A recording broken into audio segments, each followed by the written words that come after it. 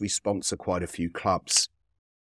Before they rip the pitch up for the end of the season, we'll go down there and have a game on a proper football pitch.